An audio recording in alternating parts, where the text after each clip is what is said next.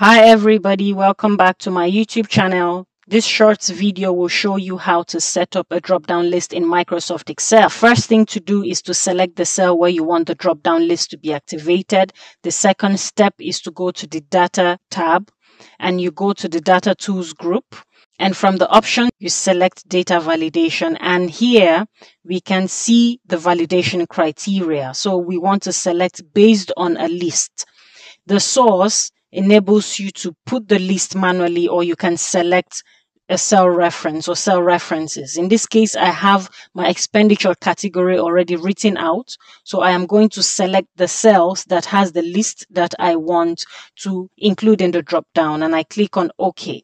So I have this drop down arrow, which I can see here, just activated. I click on this drop down arrow and the options have all come out. For salary for director, I choose employees, staff costs.